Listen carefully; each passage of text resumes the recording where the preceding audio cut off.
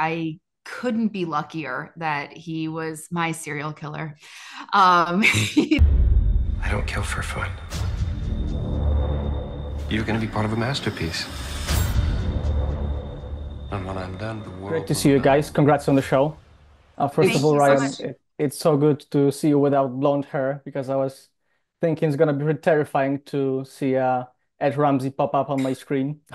So He's done. thank, He's done. thank Ed you. Ramsey's. thank you yeah, for that. of course.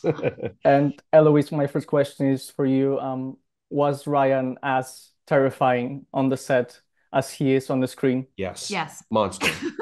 total total monster never out of character i had to call him ramsey for five months straight uh no i'm just and kidding still, and today, it still yes ramsey yes um he's a he's an absolute delight and um i i couldn't be luckier that he was my serial killer um he just uh from from day one we established a rapport and a trust and you know it, what you're having what we were having to do is incredibly intimate um and really vulnerable especially for me strapped strapped Mhm. in uh at at his complete mercy honestly. And um and the amount of tenderness that he showed me off screen allowed us to go to really dark and ruthless places on screen. So um so i feel really grateful for that. Not to mention he's just he's an excellent actor in itself. So um it's always a treat as a as an actor when you enter into a scene and and you're just you're just trying to return the serve of um, what the other person's giving you and and he's a great uh,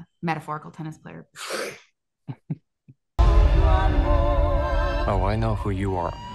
Lead investigator on the Gary Sinise. Ryan, who came up, who came up with uh, Ed's uh, appearance because it kind of looks like a cross between Moriarty and Ken doll with a dash of Patrick Bateman. Hey.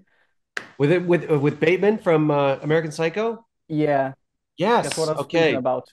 You got two Was of my that your references. reference? Yes. Yes, yes, you nailed it. Um, that was that was the thought was that uh, you know not only does he spend time manicuring his victims and curating their look in a certain way, and I thought he would apply that same sort of meticulous curation to his own image, but I thought this guy's trying so desperately to fit in and be quote unquote normal and be charming and and all these things.